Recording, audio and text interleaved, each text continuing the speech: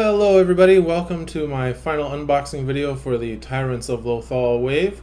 I am going to be opening up the last two figure packs for the Wave, and that's going to be Hondo Ohnaka and Grand Admiral Thrawn.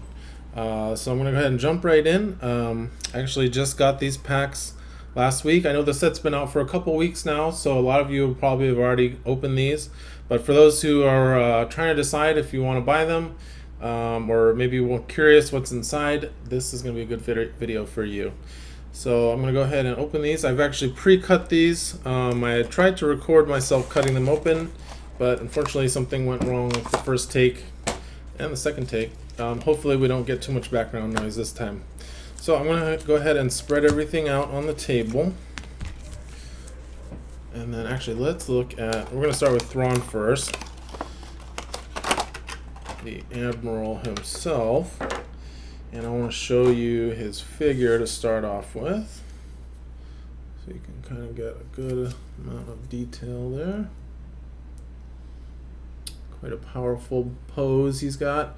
Now some people have noticed that the new figures from the wave are slightly larger um, in scale than some of the old ones, just slightly. Like, uh, but especially Thrawn is quite tall um, compared to some of the other villains that have come out for the game. Just something to know and keep in mind. Um, honestly, when they're on the table, they I don't notice the difference at all, and it actually has made them quite easier to paint. Uh, I started painting my my rebel heroes, and it's quite nice. Anyway, um, so let's look at the cards. So let's put him over here, and we've got our pamphlet. We don't need this. Don't don't throw this away though. This is important. Uh, you get power tokens. Let's see what cards we have. So we have our command cards. We've got our agenda cards, deployments, this, logs, and our skirmish missions. All right, so let us start off with the deployment cards. I'm gonna put that in the back. So you get two different deployment cards for Thrawn. You get a campaign version, um, uh, quite strong. So the campaign, the only difference between the campaign version and the skirmish version are these abilities right here. Uh, in the campaign version, you get to predict at the start of each round which hero the heroes are going to activate first, and basically they have to choose either activating that hero or taking a stun. So if they active, so basically you are you're trying to predict which is their best hero to activate first, and then punishing them with a stun if they do that. Uh, patience, uh, whenever you activate a group, you may distribute among its figures different wildcard power tokens equal to the number of exhausted rebel activation tokens. So that's pretty nice. Um, basically, the later in the round you use it, the more power tokens you get. I'd like to point out that his attack has a double surge for plus 3 damage and 3 dice, as well as a basic plus 2 accuracy. So Thrawn actually hits quite hard, especially if you can give him a surge, a surge power token. Uh, then he is almost guaranteed to get that plus three damage surge going. And then let's look at his skirmish card. Same stats, but he has now has long laid plans. At the start of your activation, distribute among friendly figures different power tokens equal to the current round number. So note that um, basically it, another ability that scales the longer the game goes, kind of similar to patience. Um, and if you, you, they have to be different power tokens, but they, he can give them to himself, and it does not have a range requirement. So he can kind of sit in the back of the deployment zone really and just pass out power tokens to friendly figures, and uh, he can also give them to himself. And note that if it's after round four, you can the maximum number you can distribute is four. And then he has strategized at the start of your activation. Look at the top command card of each player's deck. You may discard one of those cards. Really nice built-in command card control. Um, lot, most of the time, I think you're going to be using it to look at your opponent's top card, and um, you know if it's something awesome, then just throw it in the graveyard or in the discard pile. And uh, if it's something meh, let them keep it, keep it, and now you know what's in their hand next turn. I really like uh, Thrawn's deployment cards. I think they're really flavorful to who he is in the media, the lore. Um, he's somebody who likes to plan ahead. Uh, he's all about the long game, and I think they did a really good job representing that in his deployment cards. Okay, and then it comes with one skirmish upgrade. Uh, this is an this is not an attachment, so it just goes in your list for one point. Uh, it's a very complicated effect, so I'm just going to kind of describe what it does. Um, basically, whenever a friendly vehicle or heavy weapon attacks, you can resolve this, excuse me, exhaust this card and choose uh, up to three hostile figures within two spaces of the target space.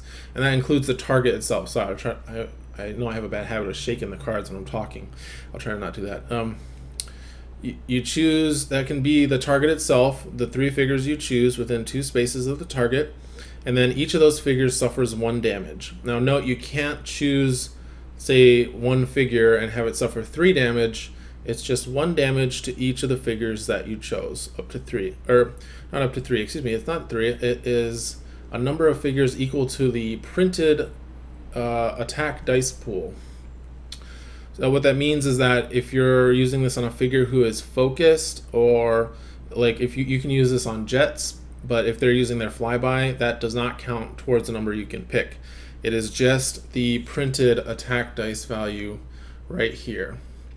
Also note that you cannot use it with Thrawn, so don't try to do that. Um, but any vehicle or heavy weapon, so that would be, you can use this with Drokkatta and the Rebels, um, with ATDP, with uh, Elite Jet Troopers.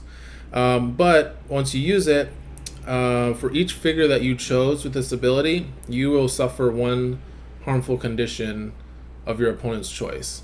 So basically, you're probably going to become stunned and bleeding and weakened if you have three. Uh, this is a cool card. It's uh, like I said, very complicated. I, uh, it's not very competitive it's just it's such a big cost you can only use this once per round because you have to exhaust it and you're basically just doing an extra damage to some figures around the target uh, it does add a damage to the target space itself so that's good but usually it's not going to be worth like especially if you have, if you're using it on an expensive figure like Drokkatta or an ATDP, getting stunned and bleeding on a figure that that's expensive is really going to hurt that figure's um, presence in the game. I think this could be good with Jet Troopers. I think they're cheap enough that you might want to try this. But it looks like a fun card, and I think a lot of people will have fun experimenting with it. Okay, so let's look at the command cards. So first we have Thrawn's personal command card Foresee. Um, he gets to, it's very similar to his, uh, I believe, strategize ability in the skirmish card. You get to look at the top two command cards of your opponent's deck, and it's during your activation, and then you can discard one of those cards Actually, you have to discard one of those cards, and if it costs one or less, you get to draw one command card. So this is really nice. Um, don't if you if you find something that costs three or more, and another thing that costs one or less, discard the thing that costs three or more. Even though you get to draw a card, that's basically just a uh, insurance policy in case you only see crap on the top of your opponent's deck always go for the good command card with Foresee. Again, another nice, and this costs zero points, so it should be pretty easy to fit into a list. Uh, really good command card control with Thrawn, and again, plays into his theme of playing the long game and knowing what's going on before the opponent knows what's going on. Next card is Price of Glory. Any Imperial figure, two points. Use during your activation to discard a harmful condition and gain two movement points. Then you may suffer one damage to gain up to two different power tokens. Uh, so this is really cool. There's actually uh, a cycle of these. There's another one in Hondo. Basically, like uh, the card Heart of Freedom is a card that we've seen in the Rebels, and now the Mercenaries and Empire kind of gets their own version. Uh, the harmful condition removal, and it, that's not going to happen that often, but when it does happen, it's amazing when you get to remove a stun or bleed for free. Uh, two movement points is also awesome, and then suffering a damage to gain two power tokens, also great. Um, a lot of times you'll just take two block power tokens and it puts you up one one health basically. Uh, really good card for Empire, especially if you're running Vader. Next is Induce Rage. At the start, use at the start of the round, choose up to two figures. Each of those figures discards each of its conditions, and gains one uh, damage power token for each condition discarded this way. So you can use this to remove focus, any condition, um, harmful or positive. You can remove focuses, you can remove hidden, you can remove stun, bleeding. You can't remove power tokens. Remember that. I think the best case for this is to remove uh, harmful conditions um, and then replacing them with a power token on your friendly figures. I think removing a focus and giving them a power token is kind of taking away two and giving them one. I think if you have a lot of cards like Parting Blow that give your figures harmful conditions, this is a cool card to consider. And then Combat Resupply, another common theme in the wave of giving out extra bonuses the longer the game goes. Basically, you get to distribute power tokens equal to the current round to a friendly figure within three spaces. Uh, this is fine. Uh, we've seen similar cards like um, I think Ready Weapons for troopers, although this is for any figure, any Imperial figure, and it doesn't cost an action, so that's really nice. Um, yeah, I think even worst case scenario, you play this on turn two, round two, you get two power tokens from it. It's fine. Um, it's a good card, solid card. Okay, and then let's see, we've got our agenda set. I'm gonna go in reverse order. So we have our first card, and this is the agenda set, The Art of War. Three steps ahead. Start of each Imperial upgrade stage before drawing agenda, you may put the top three cards in the agenda deck, then discard any number, then place the rest back on top in any order. Um, I like this effect. I don't know if it's worth two influence um, to be able to sculpt your agenda deck. Uh, to be honest, I haven't played as the Empire and campaign in a while, but I do remember like trying to get that one agenda card you really wanted was really important, especially when you needed it, like during before a, a side mission.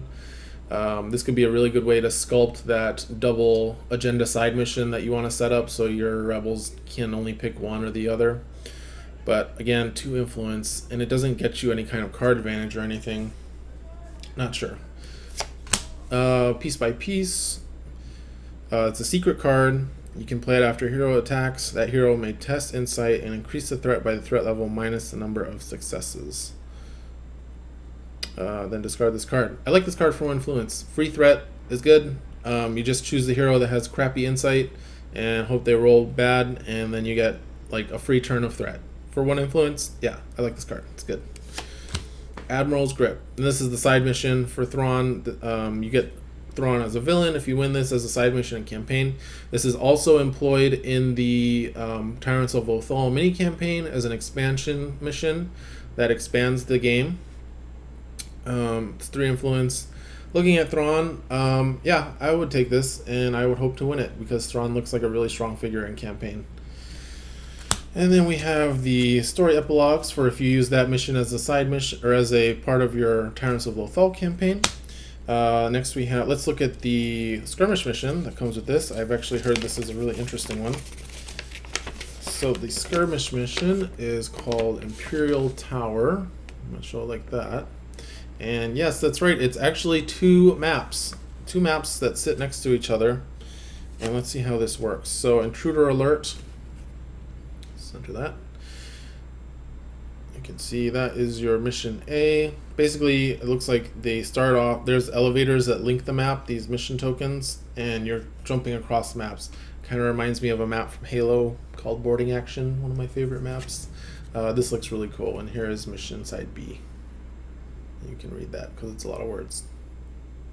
All right, I'm not going to show you the campaign mission because that would be cheating. Rebels, stop that. And that is it. So let so just to review, this is everything that comes with the Grand Admiral Thrawn pack. All right, and now let us take a look at Hondo. Clear that all out of the way. Go over there. All right, Hondo Ohnaka, friend for hire.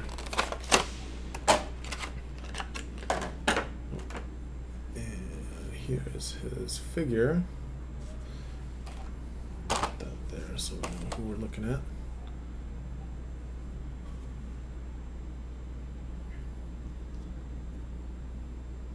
He's got one arm out and one arm behind his back with a blaster.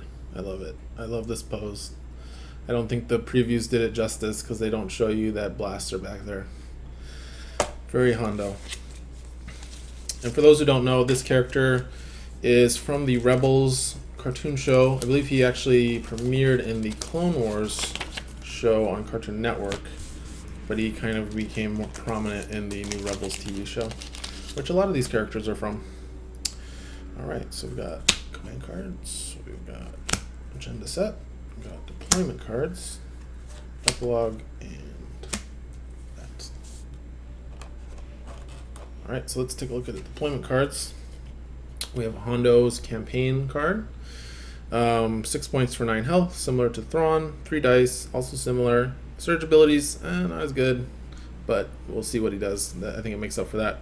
His main ability is Negotiate. When you declare an attack, the heroes must choose to either increase the threat by two or apply plus two damage to the attack results.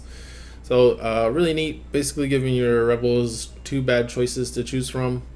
Uh, sometimes it'll bite you when you know, like when they're the attack's gonna kill a rebel anyway, so they'll just give you the plus two damage, so you don't get the threat. Um, I actually think, or or if you really need that plus two damage to wound a hero, they'll just give you two threat if it's the last round. But I think these are two bad enough choices that they're gonna hurt either way. And his other ability, Ulterior Motive, when you enter a space containing a crate, increase the threat by two, limit once per crate. So that's really neat. I like that. Hondo can pick up crates. I think this is the first ability the Empire's had that allows them to benefit from crates on the map. Um, a lot of rebels I know like to avoid crates because they take up so much actions. Well, now you can punish them for that. Really cool and very flavorful because Hondo likes treasure chests. And then his skirmish version, um, same stats, negotiate, but a little bit different. Um, instead of choosing uh, threat, they can choose to pay two victory points or take the plus two damage. Uh, the two victory points, that means that they have to reduce their victory points by two, and you increase your victory points by two. That is a lot of that's a four victory point swing. I think usually you're going to take the plus two damage in most cases, unless it's going to result in an overkill but that makes his attack very strong. Plus two damage naturally with three dice and the surge for plus one. He hits really hard, um, and he has five speed. He's he's gonna move around. He's really good at skirmish. Um, and then he has a bonus ability that I think is probably very rarely going to come up, but it's going to be cool when it does. Basically, if he, at the end of the round, if he's in an opponent's deployment zone, they have to pay you two victory points. Uh, note that that is not the end of his activation. You have to get in there and then survive the entire round. But, you know, just move him last. Move 10 spaces, you could probably do it. Alright, and now we have Lie in Ambush as our skirmish upgrade. Another one that's very complicated, so I'm just going to let you read it and kind of explain what it does. Um, you can only put it on non-massive, non-unique figures. It's an attachment. However, you don't attach it until the until setup. Then you get to choose one of your figures that doesn't have an attachment and attach this to them, and they don't deploy as your normal.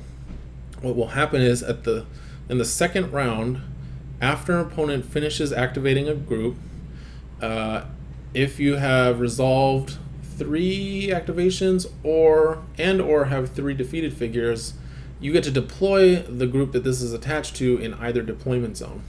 I just want to clarify that it mean and or means that if you have a combination of say two figures groups that you've activated and you have one defeated group, that means that this is going to trigger. And you this is not an optional trigger. So as soon as that um, becomes true, and it's at least so you know people are saying, well, what if one of my figures dies and, and then I have four defeated figures before this could trigger. No, it'll trigger. Uh, it, they're gonna come out, so you can't just sit up, leave them out of the battle. Uh, this is a really fun card. I think I really want to try this on like a Wampa because those things are really slow, but they hit really hard. Um, I think there's a lot of cool stuff you can do. Kind of sad you can't put it on any uniques at all. Uh, also, but I am glad that you can't uh, plop a Bantha in your opponent's deployment zone in round two because that would be really annoying. Alright, so that's that. Let's look at the command cards for skirmish. We have Hondo's card. While defending, pay your opponent X victory points to apply minus X damage to the attack results, then you become focused. Zero cost. Uh, I think this card's good. Um, I don't know if I would. I, I, usually don't play the named cards because it's such a, a liability when they die, but zero points become focus is basically what this card says to me. Um, and then it also makes them more survivable if you want to throw away the victory points on that. But just getting focused for free for zero points. The thing is, though, that Hondo, uh, his card doesn't really benefit a lot from being focused because his surge abilities are so bad. So that, yeah, I'm not sure about this card, but it's zero, so it might be you might be able to fit it into a list. Uh, next, I really like this card, Hostile Negotiation. Any figure during your activation, you discard a random command card. If you do, your opponent discards two random command cards. one point. I really like this card. Uh, I like symmetrical effects like this because you get to, as a person playing it, you get to decide when this gets played. So let's say you burn most of your command cards in your hand and you've just got one crappy one left. Well, then play this. Any of your figures can play it, and then you can try and get two good ones, two juicy cards from your opponent's hand. Um, something to note is that if this is the only card left in your hand and you play it, nothing happens because you didn't, you weren't able to discard a random command card. Um, but yeah, I really like this. I, I, I like playing spies and I like messing with my opponent's command cards. Really cool card. And then we have worth every credit. This is similar to the other card we saw for two points. Uh, you get discard one harmful condition, gain two movement points, and when the next hostile figure is defeated during this activation, you gain two victory points. yeah, um, this one's good. I think, again, I think I would play this just for the two movement points a lot of the time. Um, it's really good with IG88. He really likes getting extra movement points for free. And there's also a list um, being played by mercenaries right now that manipulates victory points that is doing really well. You've probably seen it if you watch my skirmish videos because a lot of our local players like to play it. Uh, and I think this slots right in. I think two. I think it is, might be a little too expensive for two. Um, it's hard to fit into hunter lists, but um, it's a really good card, and I think it will find a place. It'll find a home in, in some mercenary lists, especially with IG88 or some other heavy hitting hunter that likes to move up close, like maybe Bossk. Bossk would like this card. And then we have Out of Time. Um, any mercenary figure to use during activation, hostile figure within three spaces, and line of sight suffers strain equal to the current round number. So this is our equal to the current round number card for this this pack. Um, this is fun. I think if you play this in a strain list that can, or with something like shoot the messenger, uh, the command card that takes away three cards from the top of the opponent's deck, if you can empty your opponent's deck by round three, this is a free three damage for no no actions. That's really good. Um, that's just great. Um, if you can't though, it doesn't do much. Yeah, this card is kind of controversial. I don't know how I feel about it yet. You guys should try it. Uh, let me know in the comments what you think of this card because I think it's really interesting. Okay, and then for campaign, let's take a look at the agenda cards. So we have missing treasure. Uh, any mission. Oh, so you can basically deploy Hondo even if you haven't earned him as a villain, uh, without playing his excuse me without paying his deployment cost. But he cannot declare attacks during this mission. So basically, you're just using him to block line of sight, block movement, um, take actions if needed, and also he can take those crates for for threat. I like this card. Only one influence. I think it's fun. Um, I really like these kind of cards that let you take the the villain without having to earn him through the side mission, um, but then puts a restriction on it because you know it's it's just a way to get the figure on the table. So I like that they included this card with the agenda set. And then we have final offer. This is a secret card. You can play it during any mission when a mercenary figure attacks. The heroes must choose either increase the threat by 3 or apply plus 2 to the attack results. Then discard this card for 1 influence. Basically gives you a slightly stronger version of Hondo's negotiate ability. Um, not sure if I would pay influence for this, especially since you only get to use it once, unlike Hondo who uses it every time he attacks. You have to use it in a very specific moment and hope that the rebels pick the wrong choice because there's always going to be a right choice and a wrong choice. Um, I think usually the wrong choice is to give them the threat. Although if it's late in the game, then you give them the damage. I'm not sure, but this is a fun card. It's for only one influence. And then we have Hondo's mission. And again, this is a side mission that you can buy to earn Hondo as a villain, or you can use this in the Tyrants of Lothal mini campaign to expand it and add an extra mission to the campaign which I really like, and I think it's really worth it to pick these up to make that campaign longer. And we have the epilogues for that mission. This is how you incorporate it into the Tyrants of Lothal mini campaign. And then the last thing we should look at here is the skirmish mission, the Lothal spaceport. And actually, I also want to show this has an important thing about what it means to pay victory points. Um, basically tells you that if it instructs you to pay, you lose. That player loses, and the other player gains that many victory points. Um, if an ability requires a player to pay victory points that they don't have, then they can't use that ability. By the way, that means that if you are attacking someone with negotiate and they have they don't have they only have one or less victory points, they have to take the two damage. So that's kind of cool. Uh, and if a player's ability requires opponents to pay more victory points than they have, that opponent pays all the remaining victory points. Uh, and again, I want to clarify with negotiate that does not require victory point payment. You can avoid that by taking the plus two damage. So you can't force your opponent to pay victory points using this rule. All right, and then let's look at a little fall action. Actually, I'll bring it up close here so you can get a good look at it. Uses some of the uh, Tyrants of Lothal tiles. And here is the card itself. Mission side A. And mission side B. All right, so that is everything in these packs. Um, so let me bring these back on here. I like these villains. I think they're really good. They're going to be really both really good in skirmish. I think they're fun. They offer a lot of fun stuff for campaign. If you're playing the Tyrants of Lothal mini campaign, you definitely want to pick these up uh, to add to that uh, that experience. And yeah, so that's Hondo and Thrawn. Thank you guys for watching. I really appreciate you uh, joining me in this channel please like uh, if you like this if you like the video if you want to see more please subscribe for more videos we've got more skirmish games coming up and we're gonna have some more strategy content coming up soon. Thanks for watching. Bye